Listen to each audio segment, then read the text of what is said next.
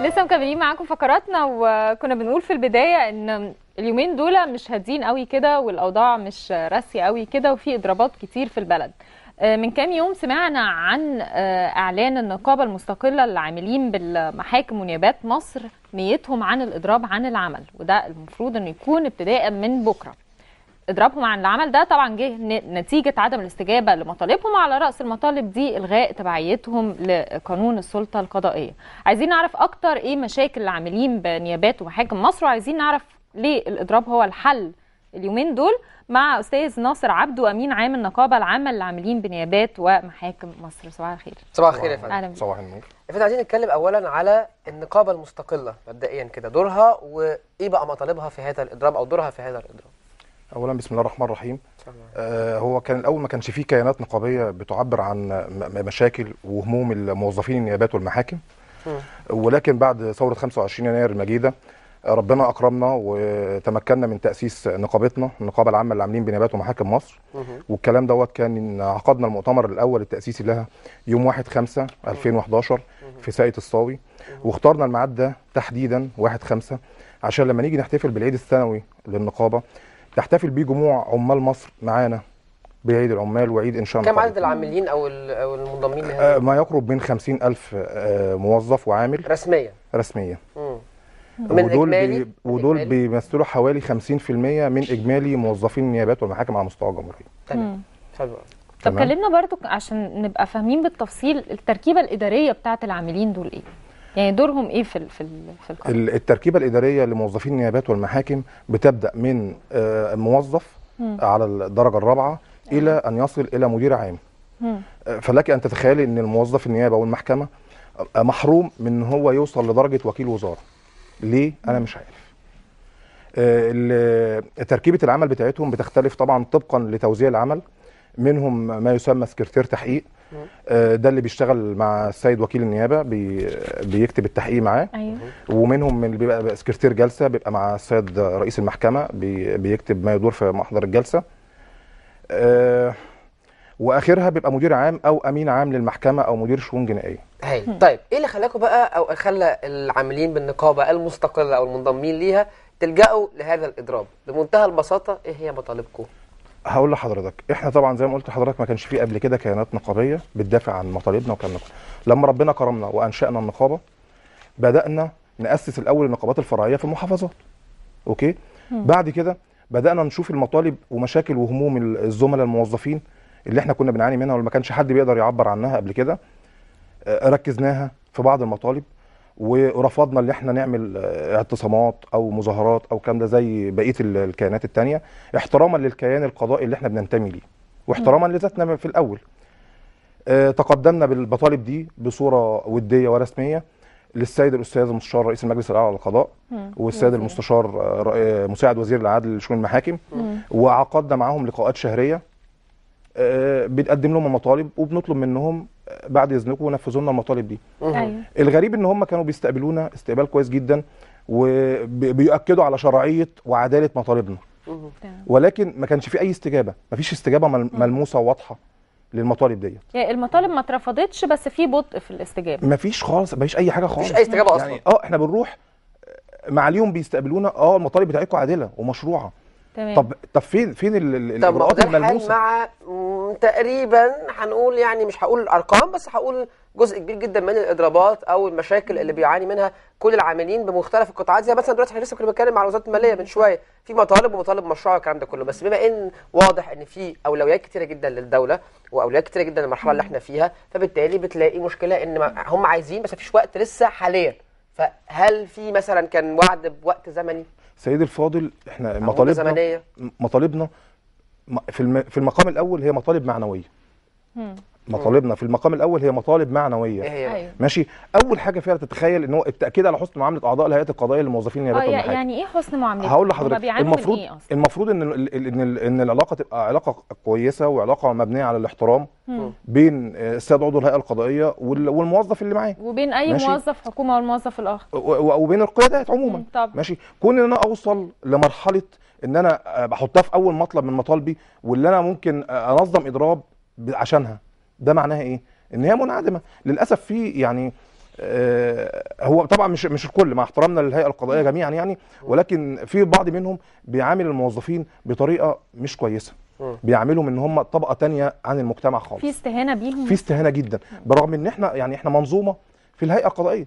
ما ينفعش ال- الباشا وكيل النيابة أو الباشا رئيس المحكمة يدير التحقيق أو يدير الجلسة من غير ما يكون السكرتير معاه. طبعا. في- بيتكتب في النهاية بالهيئة الصاب- بالهيئة فلان وفلان. أيوه. فلازم إحنا كل اللي إحنا بنطلبه ان يبقى في معاملة احت... يعني احترام وأدمية بيننا وبين بعضنا. تمام طب دي مطالب معنوية في مطلب من مطالبكم بيقول إن أنتوا عايزين تفصلوا ميزانية العاملين بال... بالنيابات والمحاكم عن آه، ميزانية المجلس بالظبط عن ميزانية المجلس الأعلى للقضاء وتضموها مرة تانية لميزانية تمام. وزارة العدل. هو الفرق؟ حضرتك هو هقول لحضرتك. هو الأول حضرتك قبل 2006 كانت الميزانية كلها بتاعة الهيئات القضائية كلها جميعا تخضع لميزانية وزارة العدل. أيوه. جم في 2006 وحبوا الهيئة القضائية إن هي تفصل ميزانيتها عن آه، ميزانية وزارة العدل. مم. فصدر القانون 142 سنة 2006 تمام. بفصل ميزانية الهيئات القضائية وخاصة المحاكم والنيابات عن ال- ال- الوزارة. وبالتالي إحنا عشان إحنا محاكم ونيابات فانضمينا معاهم انفصلنا معاهم. دون دون رغبة منا ودون إرادة منا. ده أدى إلى إيه بقى؟ إن آه، السيد وزير العدل لما بيجي يطلع قرارات بمكافئات أو أي امتيازات مادية ومعنوية ما بتعمش علينا. لا ما بتعمش علينا إحنا خالص. مم. يعني لا تطبق عليكم لا تطبق بتطبق علينا. على باقي الموظفين؟ بتطبق على العاملين في ديوان وزارة العدل مم. ومصلحتي الخبراء والطب الشرعي اللي هم خاضعين ماليا واداريا لوزير العدل. إنما إحنا إحنا بقينا مشتتين. طيب. موظفين المحاكم اداريا تبع الوزارة اداريا تبع الوزارة. وماليا؟ وماليا تبع المجلس الأعلى للقضاء. موظفين النيابة اداريا لمعالي النايب العام و... وماليا تبع المجلس الأعلى للقضاء. طيب من ضمن مطالبكم برضو الأساسية الموافقة على إنشاء مجمع انتخابي بكل محكمة ابتدائية وجزئية وأيضا كل نيابة كلية وجزئية وتكون مهمته انتخاب الأمين العام ومدير الشؤون الجنائية ورئيس القلم الجنائي وفقا للشروط التي تتطلبها طبيعة هذا الكلام. كلام كبير قوي يعني إيه؟ ليه عايزين مجمع انتخابي في كل هيئة ونيابة؟ حضرتك دلوقتي بعد الثورة ابتدت كل المناصب القيادية تبقى عن طريق الانتخاب. ما تبقاش فرض تمام. الأمين العام ومدير الشؤون الجنائيه ورئيس القلم بيتم اختياره وفقا لرؤية السيد المستشار المحامي العام أو السيد المستشار رئيس المحكمة الابتدائية مش أو بالانتخاب رئيس النيابه مش بالانتخاب. لا زال. وما زال. آه. ماشي؟ تمام. إن دي ده سلطة إدارية آه، لسيادة المستشار أو لسيادة رئيس النيابة. واخد بس؟ فبيبقى ولاؤه الأول والأخير للمستشار أو للسيد. مستشار. مم. فقط. لا غير. إحنا بنطلب إن يبقى آه، آه، رئيسنا الإداري في الشغل اللي هو الرئيس المباشر اللي هو ال- ال- الأمين العام أو مدير الشؤون الجنائيه أو رئيس القلم يتم بانتخاب بانتخاب عن طريق الموظفين. ووفقا للضوابط مش هنجيب أي حد ونجيبه برضه. لازم يبقى في ضوابط وشروط معينة اللي زي تتطلبها انتخابات في الدنيا. زي أي انتخابات. بس يبقى, إحنا حاسين إن الراجل ده اللي هو ال- ال- القيادي بتاعنا يبقى بيتم عن طريقنا إحنا وعن اختيارنا إحنا. وبالتالي لما يبقى رئيسك في الشغل أو القائد بتاعك في الشغل أنت مرتاح له نفسيا وأنت حاسس إن أنت اللي جايبه لو لو قال لك وأمرك إن أنت تشتغل أكتر من جهدك هتعمله. بالظبط. وبرضه نرجع تاني وده شق معنوي. أنا شايف برضه إن الجزء المعنوي هو اللي طبعاً. يعني غير الجزء المادي. يعني معظم المطالبات معظم المطالبات عموما في الاضرابات اللي بتكون موجودة أو في المشاكل اللي بتكون موجودة هي بتبقى مطالبات بالمقام الأول مادية مع عدم النظر اللي بتاع. فإحنا المختلف في, هذا الإضراب. وبرضه في مطالبات وزارة المالية اللي كانت في الفقره اللي قبل كده فكرة التقدير المعنوي. فقط. صدقني والله أسلوب الإدارة لو حضرتك لو لو ريحت ال- ال- الموظفين والله هتاخد منهم كتير جدا. أهم حاجة الراحة النفسية. لحضرتك لو لو ريحتني نفسيا في عملي لو طلبت مني إن أنا أهد جبل ههده. وفي مطالب مالية أكيد. برضه. أكيد. طبعا في مطالب مالية مش يعني الأساس يعني.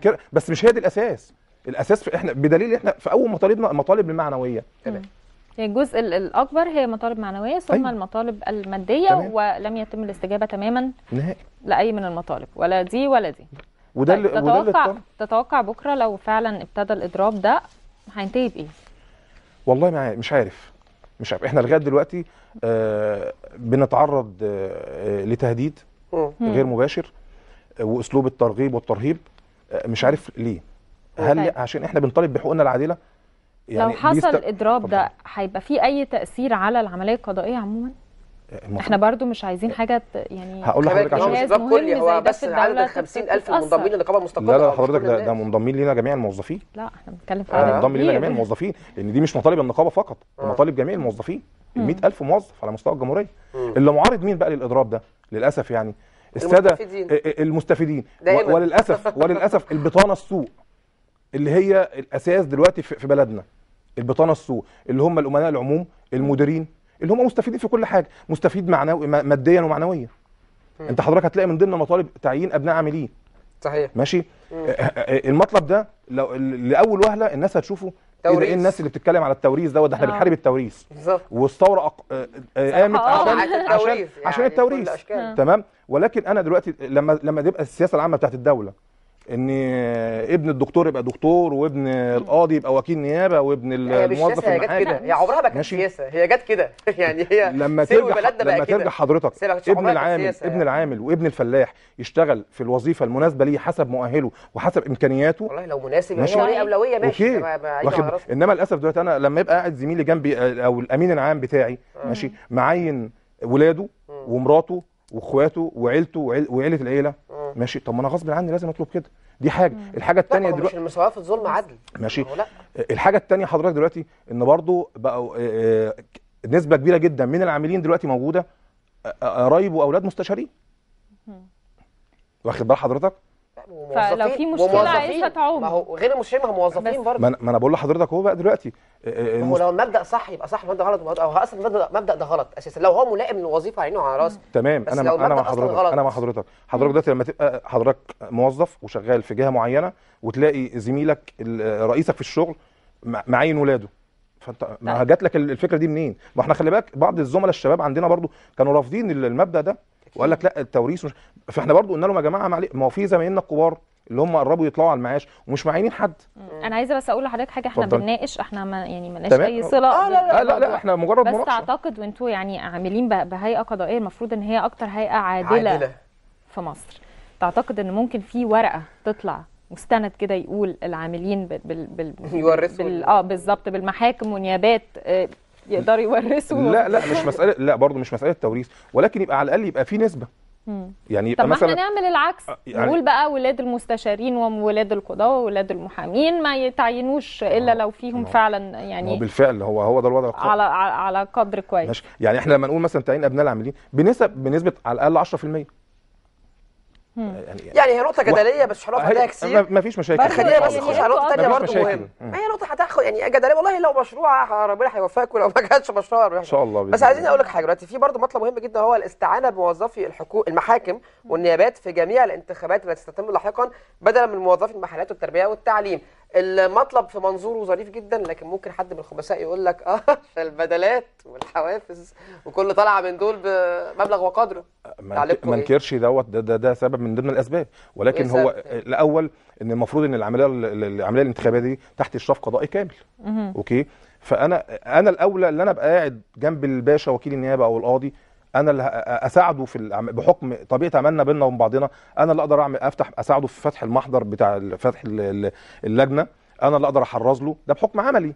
ماشي؟ إنما الزميل بتاع الوحدة المحلية أو التربية والتعليم آه. ما عندوش خلفية. وبل بالعكس كانوا بيجوا أستاذ أعضاء الهيئات القضائية كانوا بيجوا يشتكوا من ال من ال عشان ممكن الموظفين تعطيل المحليين على هم عدم ما ما. مش ما عندهمش ما فيش تدارك ما, في ما, هو ما هو فيش إيه وعي. عموما صلة يعني عشان الموضوع ده كان شاغل بالي بصراحة من زمان اتفضلي. صلة العاملين بال- بالتربية والتعليم بالانتخابات الانتخابات مش عارف يعني أعرف إن ممكن يبقى ليهم صلة مثلا بالمراقبة على الامتحانات في جامعات في مدارس بس صح إيه إيه صلاتهم قوي بالانتخابات؟ وبيقدروا يشرفوا فعلا على العملية لا بالعكس الانتخابية؟ بالعكس بيحصل مشاكل. لأن ما عندهمش القدرة هم ما, ما عندهمش القدرة القضائية على الكلام ده كله.